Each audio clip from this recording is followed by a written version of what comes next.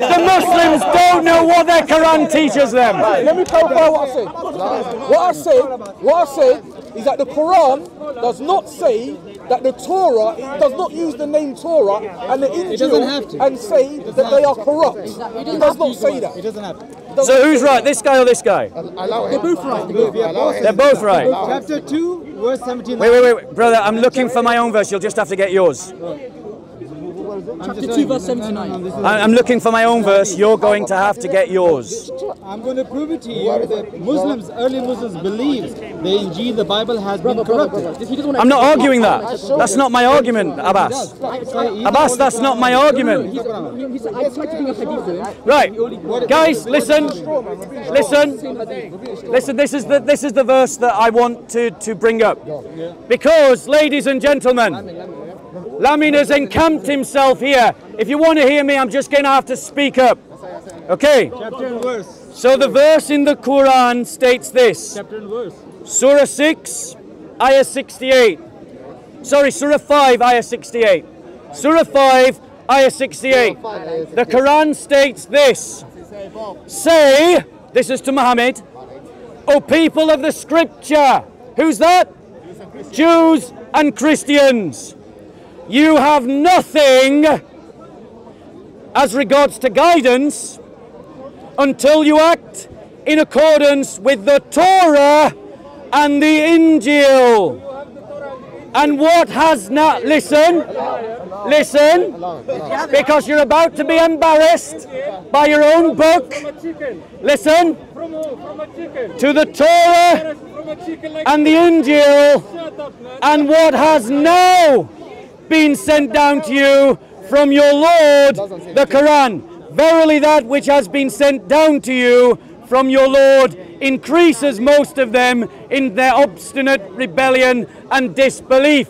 So the Quran instructs Jews and Christians to follow the Torah, the Injil, and the Quran.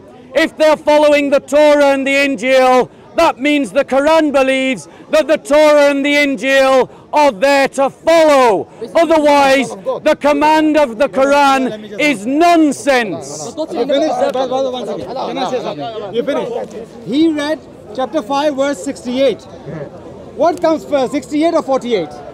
Chapter 5, verse 48 comes before that. Let's read what it says. And we have revealed to you, O Muhammad, the book in truth, meaning Quran, confirming that which prescribed it, uh, uh, preceded it, of the scripture, and a criterion over it. That's what I said. So Quran is a criterion over the scripture. What is criterion? Criterion is a yardstick. If anything goes against, you reject it. Anything goes with, you accept it. That's my first point. Second point, chapter 2 verse 79 it says, Woe to those who write with their own hands and say it is from Allah. Woe to those who do that for a little earning. Now how the uh, companions understood that verse? Let's go to the hadith. How the companions understood that verse? They know better than you and me. So I'm going to go to the hadith. If you want a quote, I can, I can give you a quote. Sahih Bukhari.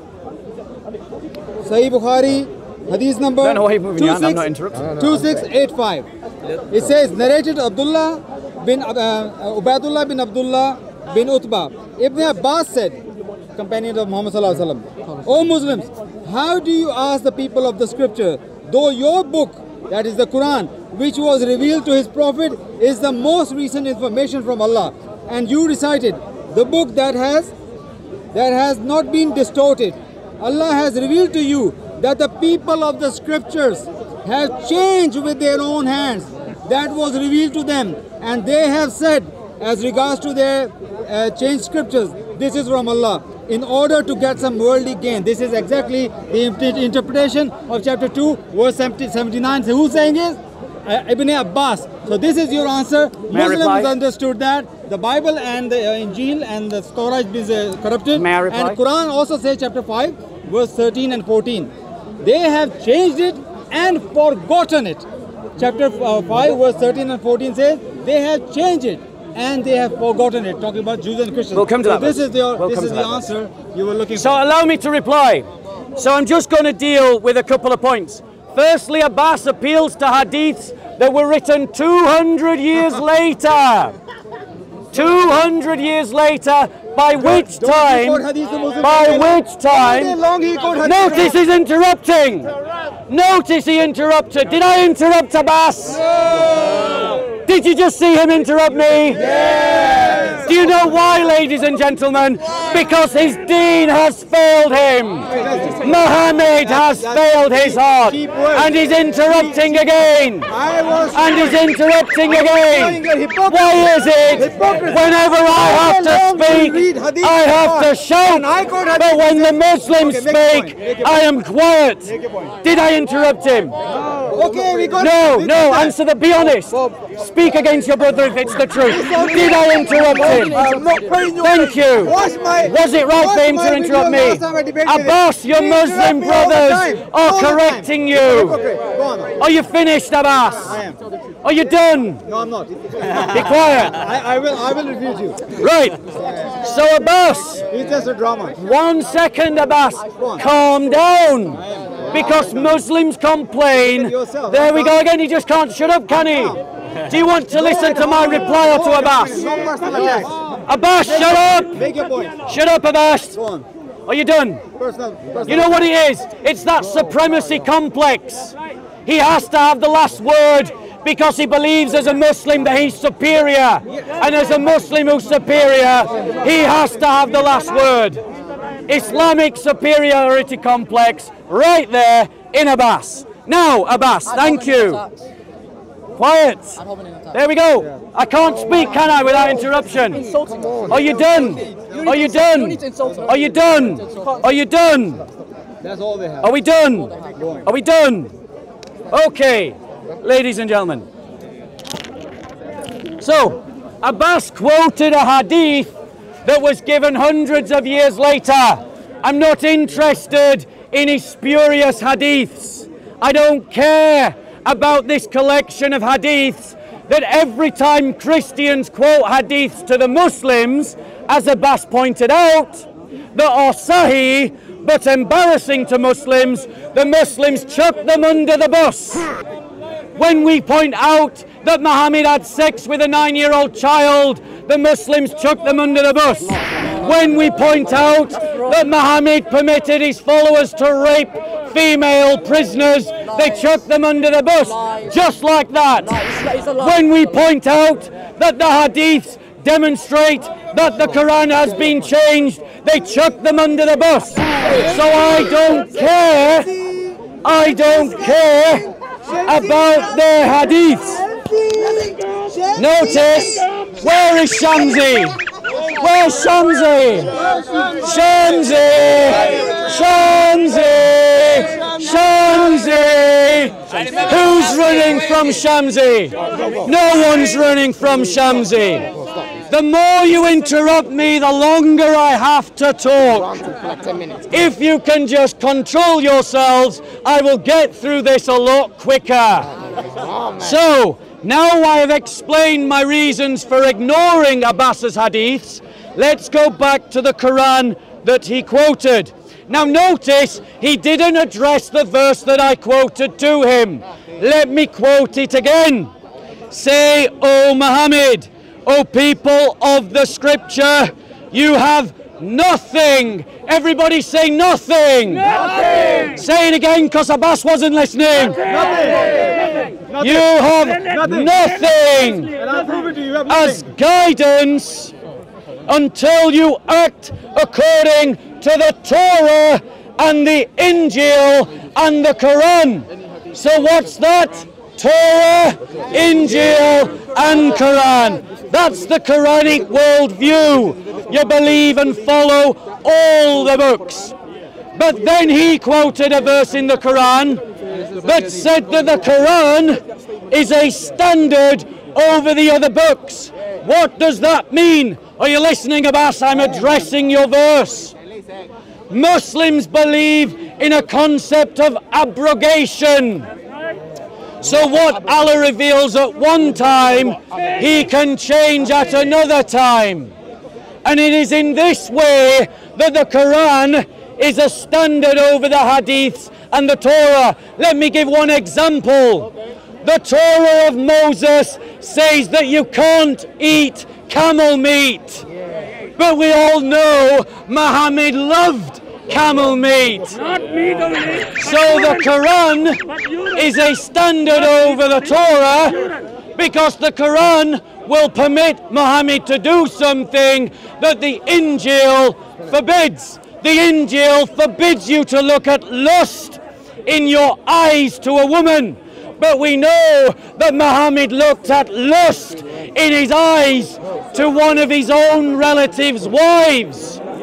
So in this way, the Quran is a standard over the Injil and the Torah. It doesn't mean that the Quran is saying that the Torah and the Injil has been changed. So sleepy? show me Anybody want to sleep? Yeah, I want to sleep. Please go. who's enjoying what I'm saying. You made your point. Give me a chance now. Only son of Abdullah is Abbas, sleeping. did I interrupt you? You're going on and on and on. Like you did, but I allowed it. Need, need anybody bite Allowed it. lecture? I allowed it. should, I shouldn't be here. If you want a formal debate, we can do a formal debate. So, I'm going to refute you. I have, re- I have addressed your point. Now I would like you to address the points that I've raised. Inshallah. Okay, I'm not gonna I'm not gonna go your level and insult you, inshallah, because I'm a Muslim. Yes, he's right. Muslims are superior. Why? Because Muslims I- tell you why. I'll tell you why. What I say. Oh. He said, I'm not going to insult you, but then he just said, I'm inferior.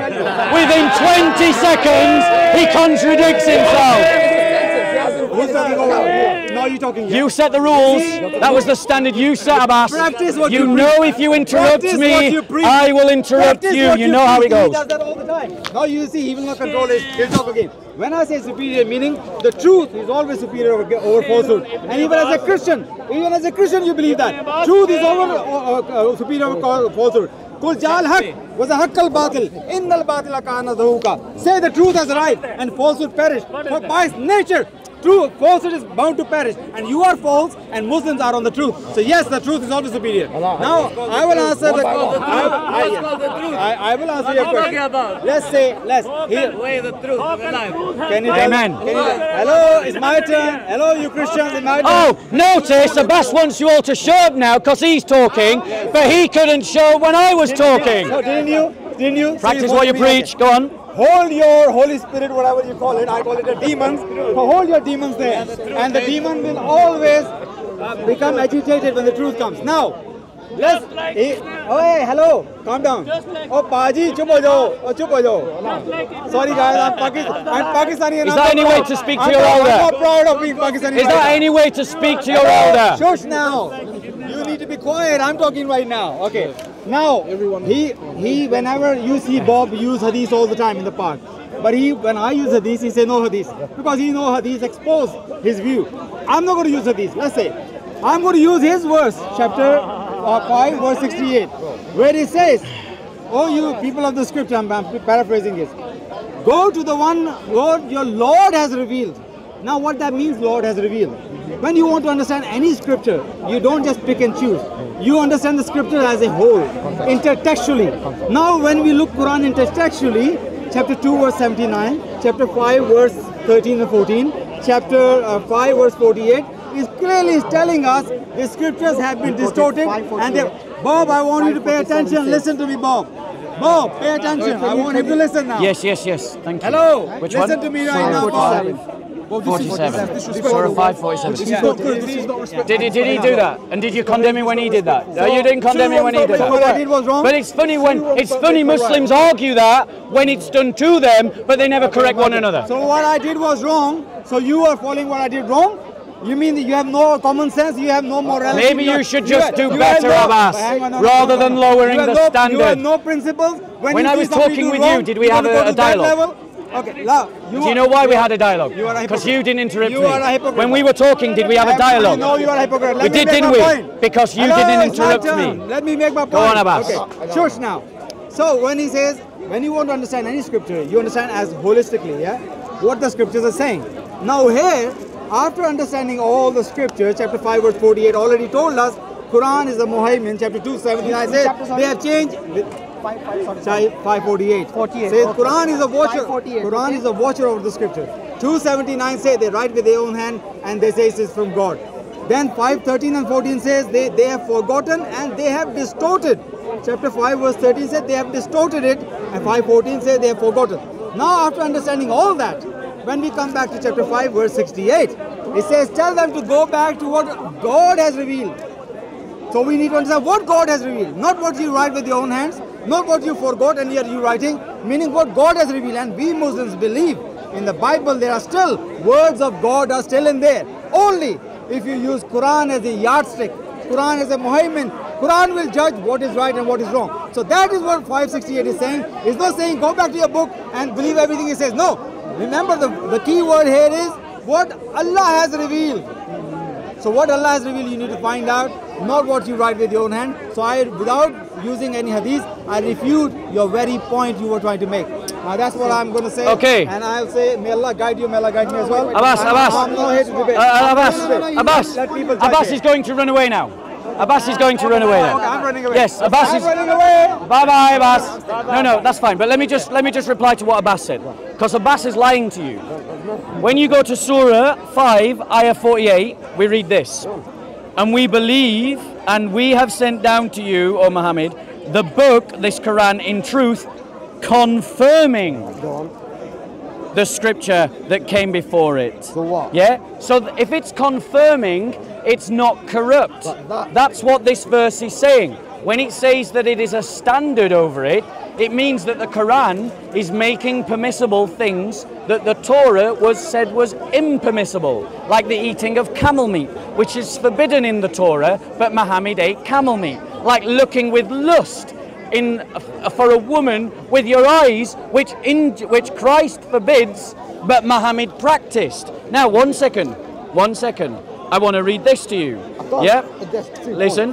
Yeah, yeah. Well, you'll, you, you, I'm sorry, but he raised multiple points. Yeah. So this is what Surah 10, Ayah 94 says. So if you, O Muhammad, are in doubt concerning that which we have revealed unto you, what was revealed unto Muhammad? The Quran. This is what it says. If you were in doubt that your name is written in the Torah and the Injil, so it's saying that his name is written in the Torah and the Injil. Can you find me his name written in the Torah and the Injil? No, you can't. Trust me, no Muslim can. Right, go on. Yep. Then ask those. Then ask those. Are you listening to this bit? Then ask those who are reading the book, the Torah and the Injil, before you. So who is he going to ask? Before you. No.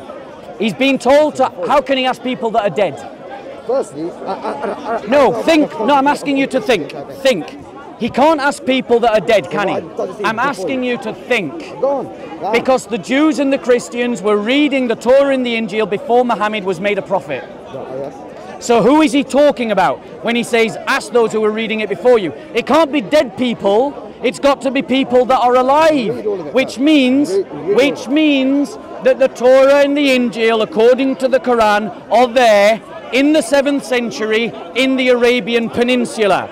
And Injil, before you, verily the truth has come to you from your Lord. So be not of those who doubt. Can now speak. Yeah, now you can reply. Ah, look. Look, look. Obey Jesus in the Quran in Surah Al-Furqan, yeah? Can you deal with this one? About what this? Yeah, deal with this one. Bro, all I'm saying is that... No, I want you to deal with this one. Because you're putting up verses so I can up my verses as well. I want to deal you. I'll deal with your verse, but you deal with mine. all of the verses that you've just, just said, we believe that they've changed.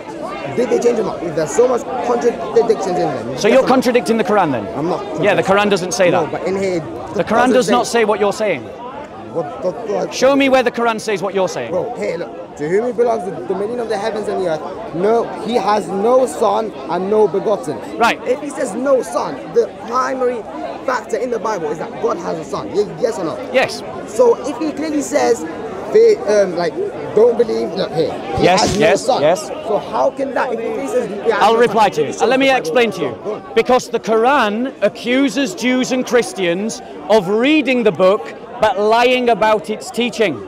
So the accusation is that Christians know that the Injil does not teach that God has a son. does have it. No, no, I'm talking about what the Quran says, not what your scholars have brainwashed you with. Listen, did I listen? You asked me to deal with your verse, you ignored my verse, and then when I'm dealing with your verse, you're just interrupting. Sorry, go on. Listen, The Quran does not say that the text of the Injil or the Torah has been changed. It accuses Jews and Christians of lying about what the Torah and the Injil teach. So when it says that the Quran is a correction to those who say that Allah has a son, it's accusing the Christians of lying about the Injil because the, according to the Quran, the Injil is the word of Allah. And does the Quran say that anyone can change the word of Allah? It doesn't say the Bible. No. Go on No. Go listen. On. I dare you. Go on. I'm going to show you. In the Yeah. word of Allah, it says the Say- of the Quran. No, it says the. Quran No, cannot be give me changed. the verse. I don't I'm going, I- do you? And does every Muslim? No, they don't, do they? They don't, do they? So what? So, doesn't make it wrong so it's a, so it's a non-argument, isn't it? To come up to a Christian critic of Islam and say, "Well, you don't know the Arabic." Most Indonesian Muslims don't know the Arabic. Most Malaysian Muslims don't know the Arabic. Most Pakistani Muslims don't know the Arabic. It's the most stupid argument in the world. It's the most stupid argument in the world. Seriously. 75 to 80 percent they don't speak Arabic. Azerbaijanis they don't speak Arabic. Turkish they, they don't speak Arabic. There are people that know Yeah. Arabic. So stop making What, up what do you mean You're Arabic? making up facts. No, no, no, they don't speak Arabic, do they? piece of Like the You said Iranians, they read, they pray, they do everything, but when you say, do you understand what he said? No. Bro, that's translations, you know. We don't understand what he said because we don't speak translation. Arabic at the end. There's Do, do, do, do. I'm finding it, bro. Patience, No, no, mate. Because the thing is, if you make a thing up about me not fight, being able to find the verse and then I find it, you're going to look really silly, aren't you? I'm just saying, where is it? Yeah, I'm, I'm going to find it. Patience, bro. Patience. I can only destroy so much of the Quran at a time. asking people that are dead, would that not mean going back to original written sources? If you're asking people, dead people, you, you go back to what's been written in the past? Yeah.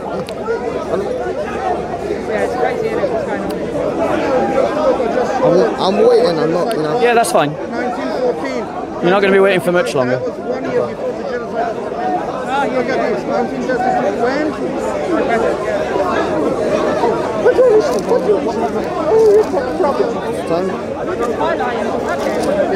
Right. So this is one of the places where it says this. Yeah. And recite what has been revealed to you of the book, which is the Quran, O Muhammad, of your Lord. Recite and under- right. This is the brackets. None can change His words. Yeah. And none will find a refuge other than Him. When it says none can change His words, is that a fact? Yes, yes, facts. Was the Torah and the Injil the words of Allah? Yes. There you go. Oh, but look, can I, can I speak? No, leave it, leave it, leave it. Yeah, we come back to it. We come back, come back to it. Pull it up. Now. I'll give you the reference. It's Surah, Quran, it says the Surah Quran, then it 1827. Pull it up. Surah 18 to 20. Surah 1827. Surah 18, verse 27. There is another one that just says none can change the words of Allah. Just can't find it. What's that? Surah 18, 27. There's Surah 18, verse 27. So Yeah. What are at? Oh, verse 27. Sorry, I- oh, 17. No, right, right, right. The- Here it says, Yeah. what has been revealed to the book. When it says the book, it means the Quran. It does not mean the Bible or the Injil. Yes or no? When it says, It says, the book. And yes, it's talking about the Quran. Yes, yes, yes. And then none can change his words. Correct. His words is So was the Quran. Torah and the Injil originally Allah's words? No, but he's speaking about about the Quran now. So what he's saying is people could change Allah's words in the past, but not now. No, he's not saying. Oh, so it's not saying that? No, no, I'm just saying it has been changed. The So, Bible so people could change the words of Allah in the past. Yes. So uh, Al- Allah's words can be changed. Yes, I mean, So how do you know they can't be changed now? Because he, first he says he is the guardian of this book. He says Yeah. in the Quran. I'm not. I'm, I'm not sure of the, exact verse, but he says he's the guardian of this book. Yes. He here, Wasn't he also the Quran- God of the Torah and the Injil? Sorry?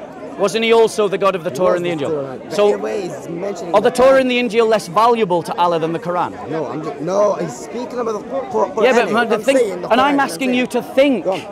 Go on. This is why I reject the Quran. What's that? Because the Quran is saying that the Torah was the word of Allah and the Injil was the word of Allah and that all the books are equal. That's, And then it's saying that none can change the words of Allah. but it says. No, there's another verse where it just says none can change the words of Allah. Where's that? I'm trying to find it right now. I'm pretty sure Right? you'll find it. Yeah, I'm pretty sure I will find it. It might take me some time. I might have to come back and get you. One thing, right? But the point is, no, think logically. If it says none can change the words of Allah, and someone changes the Injil, then that means people can change the words of Allah. Before it, says the book. The book is the Quran. So what you're saying is Allah cares more about the Quran than he does about the No, Injil. the And that's was the problem, bro. revelation. That's the problem. The Quran was the final revelation. So that's the problem. The other ones. So Allah didn't care about the Injil. I'm not saying that. So same- why did he allow it to be changed? thing as the Quran. So why did he allow it to be changed? It doesn't say over there, but I'm just saying over there. So why does he allow it to be changed? Says the Quran. So why does he allow it to be changed? Bro, even Christians say it's changed. Why does he allow it to be changed? Christians say it's changed. Yes, this is not a problem for us. What do you mean It's not a problem for so us. Says the Son But you're changing the topic and you're avoiding my question. My question again. Why did he allow the Injil to be changed?